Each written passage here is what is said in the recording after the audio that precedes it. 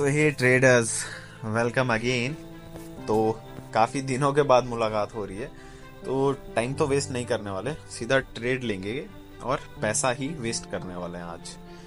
तो यहाँ पे देखो, यहाँ पे पहले तो मार्केट का देखो ध्यान से। मार्केट का प्रेशर है डाउनवर्ड एक्शन यहाँ से एकदम से अपवर्ड एक्शन के लिए थोड़ा मूवमेंट हुआ, लेकिन यहाँ पे फिर से वैसी ही कंडीशंस मार्केट ने दी कि यहाँ तो या तो अपवर्ड एक्शन पे जाएगा यहाँ से, या तो यहाँ से सॉरी यहाँ से डाउनवर्ड एक्शन जाएगा, या फिर ये कैंडल अपवर्ड एक्शन पे मूव करेगी। ठीक है, दो पॉसिबिलिटीज यहाँ पे दी थी। दोनों को ही ख़त्म करके ट्रेड लेते हैं। पॉसिबिलिटी पे जीना, क्या जीना?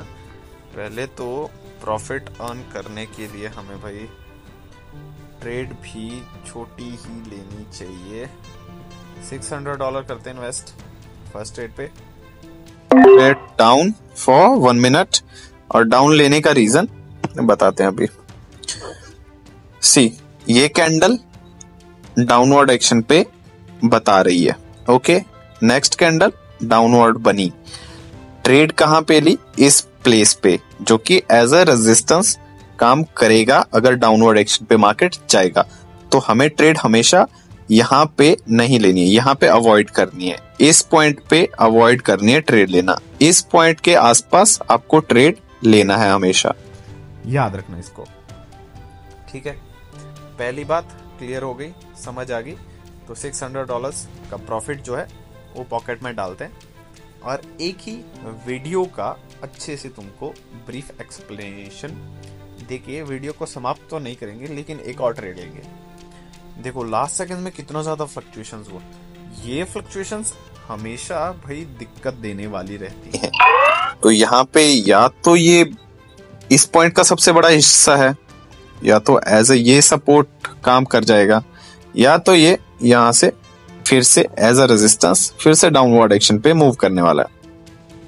अब देखते हैं कि किस डायरेक्शन पे मूव करेगा, और उसी डायरेक्शन पे एक ट्रेड और लेंगे हम।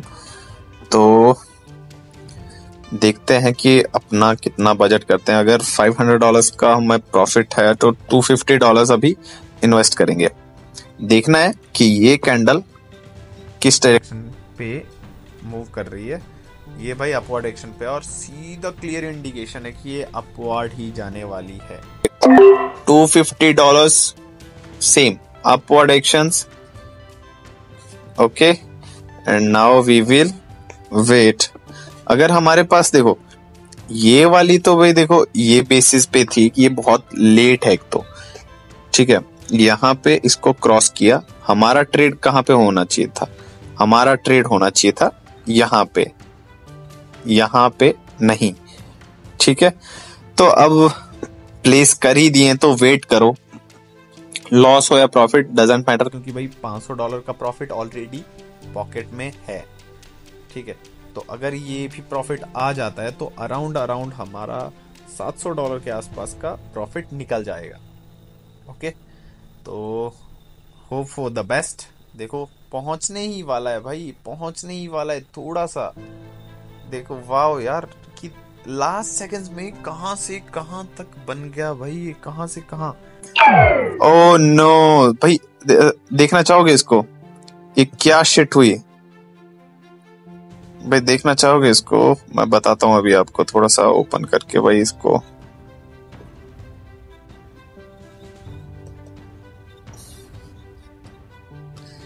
ये ओपन ही नहीं हो रहा भाई, वरना मैं अभी अभी बता देता। ये ओपन नहीं हो रहा भाई, ये नहीं हो रहा ओपन ट्रेड्स नहीं ट्रेड में नहीं दिखा रहा ये। भाई, बहुत ज़्यादा गंदी किस्मत है। भाई, एक सेकंड माइनर सेकंड से यहाँ पे लॉस हुआ यार।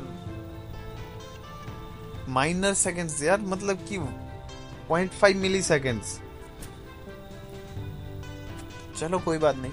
फिर भी 250 डॉलर्स अगर हमारे पास है तो we can I think go 300 dollars अभी आई थिंक हमारे पास लेफ़्ट थे। तो let's trade again with 300 dollars तो वाह बहुत सही भाई। बहुत ही सही। Pattern pattern now I will show you why I go for up trade here देखो, ज़्यादा एनालिसिस करने की ज़रूरत नहीं पड़ी यहाँ पे। एक तो इसको एक्टिवेट हो जाता है ये। एनालिसिस क्यों नहीं किया? देखो मूवमेंट हुई कहाँ से, यहाँ से, और ये किस डायरेक्शन में मूव कर रहा है। अपवर्ड डायरेक्शन पे। सिंपल सा एक छोटा सा पॉइंट था जिसको फाइंड आउट किया और ट्रेड लिया। मे बी यहाँ पे ये ये जो कैंडल है, इसका जो प्रेशर है, वो बहुत लो रहा।